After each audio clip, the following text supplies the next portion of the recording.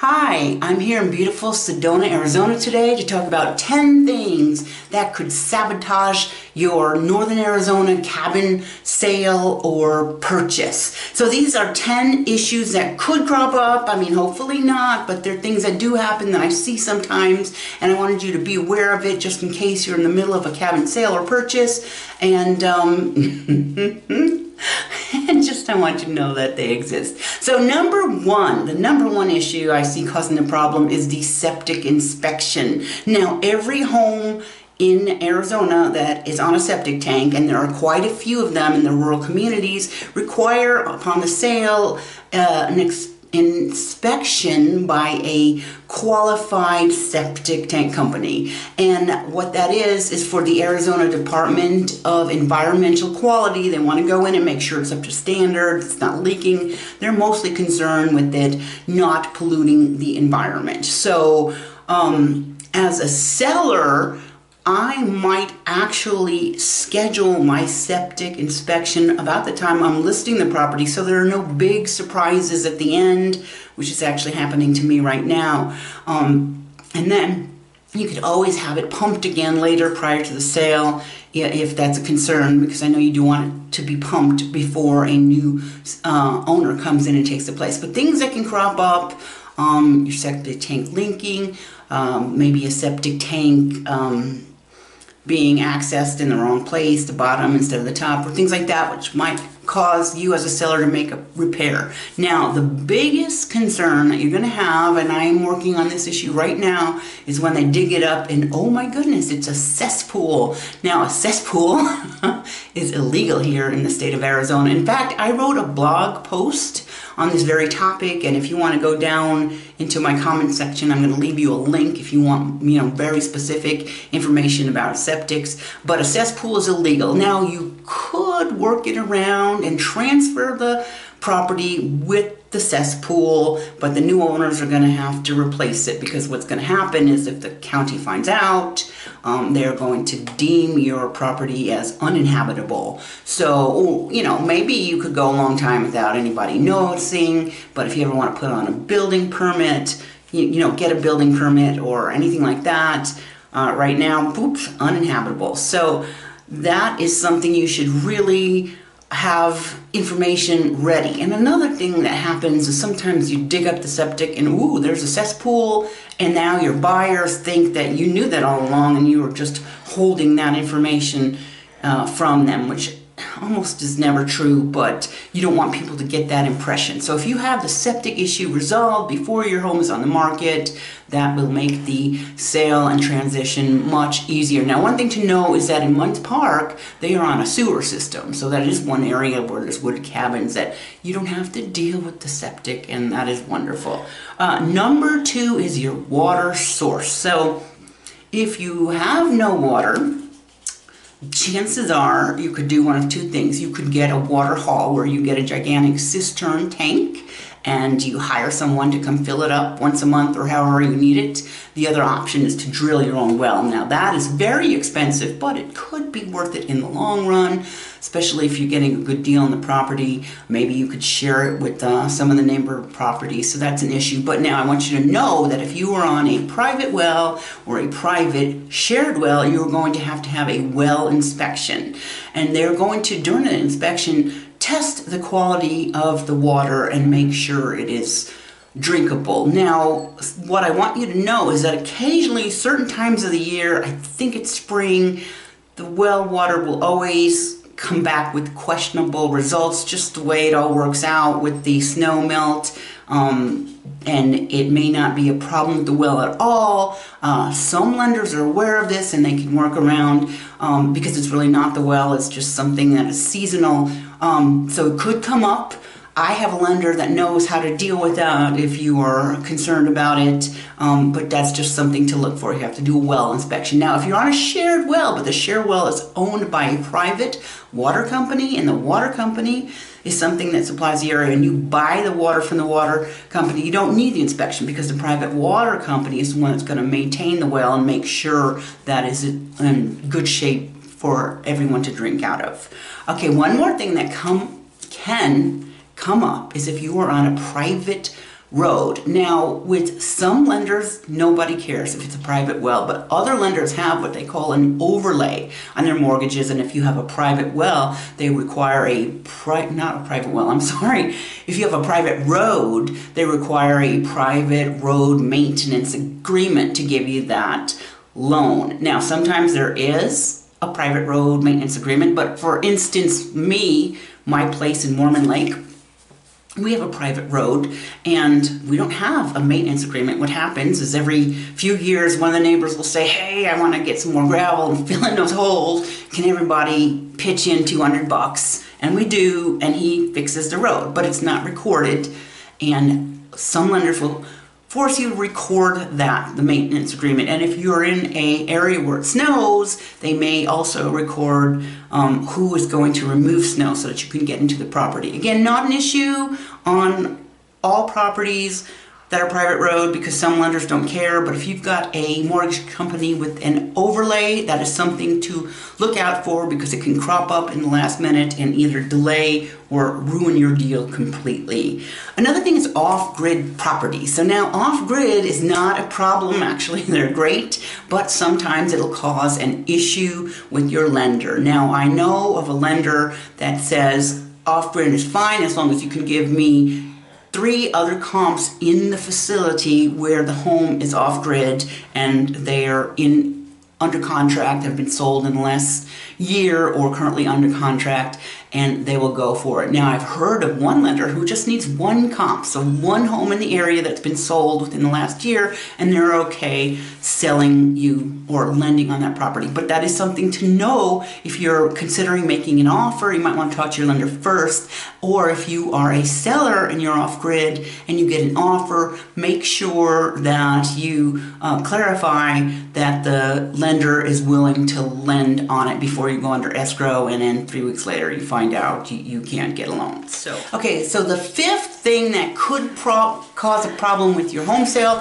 is if you have a non-permitted addition on the home. Say you had your brother-in-law come one weekend and you closed in the garage bay and made a room or you added a room on the house and you never got a building permit, this is going to cause a problem down the road. And if that's happened, you probably want to address it up front, go to the county, see what you need to do to make that a legal addition. Oftentimes it's really not that big of a deal, but um, that's going to come up when you do the sale. You have buyers come in, they're looking, what's this?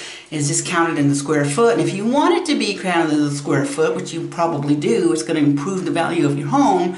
It needs to be permitted, and there needs to be airflow in the room. I don't know all the stuff, but the county will. Otherwise, you're going your buyer's going to look at the property and say what is this it's $500 a square feet and that's because they're not counting the square footage of your addition and you're going to have a problem selling the home so that's number five thing to look out for um, also with additions be really careful with the electrical i showed a property in Munds Park the other day we went into the garage and i see wires hanging light bulbs swinging from a wire five or six outlets switched. You have to go through six or seven to find the one. Okay, I'm going to tell you a story though about why you need to be careful with this type of electrical not up to code deal. Is back, and it was a long time ago, 1955. My step grandfather uh, lived, uh, I think they were in Coney Island, and he had one of these. Ill, I don't want to say illegal, but not to code um, electrical systems in the basement uh, there was a hurricane, um, and so he went into the basement to change the light bulb. He um, got his feet a little wet, climbed up on a chair, went to change the light bulb, and he got electrocuted and was killed. My father was 15 years old, went out, you know, found him in the basement. Thankfully, was smart enough when he saw him gurgling. Uh, he knew to go shut the electric off, and then you know they they found him and he he was gone. So electrical not up to code is really a serious issue. Not only something like that could happen, but you could cause a fire. So just make sure uh, when you're putting your home in the market or when you're buying and your inspection comes back and says there's problems with the electrical, that's probably the most important thing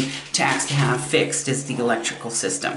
Okay, number six thing that can destroy your house, your house sale, excuse me. My dog wants to get a drink. is if you're buying a mobile home or manufactured home. And the issue here, if you're buying a lot and it's got a manufactured home on it in in you know a beautiful second home country area that that is fine. In fact the newer homes are so beautiful you can't even tell they're manufactured homes but that could cause you a problem with your lender and they're going to be uh, three or four situations that will give you a problem. One, of course, is if it's not affixed to the land. Then you're just buying something like a motorhome and it's a depreciating asset. So you want to buy, if you want to buy a manufactured home, make sure it's affixed to the land and you have the affidavit of affixture. Um, but the things you need to be concerned about with your lender is it has to be built after uh, June 15th, 1976. And what happened is at that point, HUD came in and regulated it. Um, there's a HUD plate on the back of the manufactured homes that have this, so they're up to code. They put a bunch of safety standards in there, and um, that is what the lender is looking for. The other thing is if it's a single wide, lender may not go for that either. So you are looking at double wides built after 1976, where any lender could lend on them or any lender that is willing to. Now, it doesn't mean you can't get a loan. I have two lenders that will actually loan on pretty much any manufactured home, double wide, single wide, park model, affixed, not affixed. Now the catches they're probably going to hire, I mean charge you slightly higher interest rate than you would on a single home. So if you have three and a half percent now, you might have to pay five percent. Just example, I don't know what the mortgage rates are. So if you are looking at something like that, uh, give me a call or a text, and I can provide you with the names of those mortgage companies. But that's just something again that you want to look after. Um, oh, my dog is going to bark now. Um, number seven, this just got to me last month and it wasn't me. Uh, I had buyers make an offer on a property and one of the pages in the contract you can write in things that you want and so we wrote furniture and the seller's agent and the seller didn't read that page of the contract, moved out all the furniture, and then my buyers were ticked off. Eventually, we lost that deal. So Read the entire offer contract if you're a seller. Make sure you look at that page. Anything else you want. For instance, I sold or I helped a buyer buy a house three four years ago and there was a baby grand piano and I we asked for the baby grand piano. Seller saw that and said no, made a counter and you know, we tried. But if they didn't look, then they'd be obligated to give us the baby grand piano and they would have been ticked off. So always read through the entire offer contract when you get offers. And if you're getting multiple offers too, it might be tempted to just look at the price because you're frazzled going through them, but read through the whole thing when you're ready to accept an offer before um, you're sorry later on.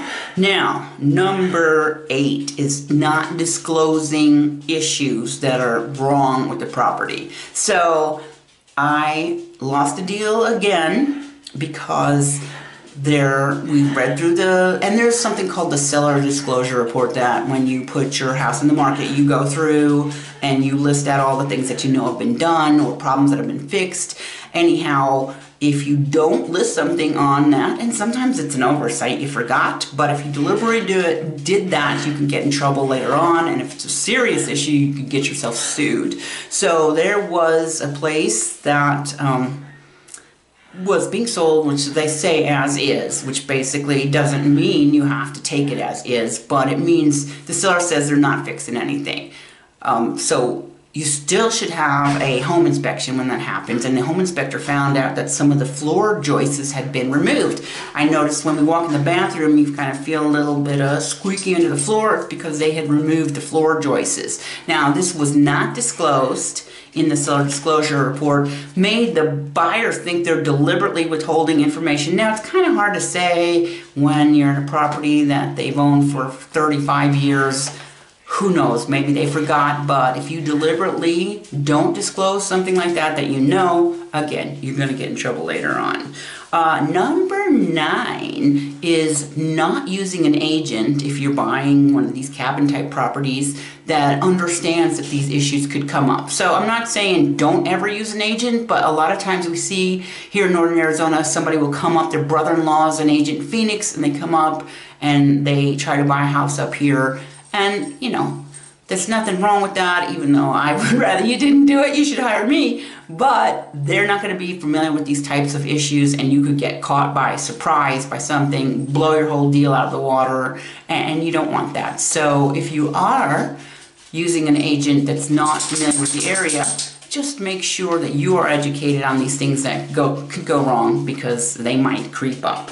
And then number 10, right now we are seeing in northern Arizona, there are two weeks of inventory in Flagstaff. Two weeks, that's amazing. And we're seeing multiple offers on properties. I had buyers make an offer a week ago on a property that had 11 offers. So if you offer an absurd amount over the asking price for a property, and uh, say, for instance, the home was listed at $250,000 and you offered $350,000, woohoo, the seller is likely to take that. But now think about it for a minute. You got to find out are they paying cash? Are they financing it? Because if they're financing it, it has to appraise. And so if they offer you 350 but they got a conventional mortgage, the appraiser comes in and it's not worth 350, it's worth 265 say.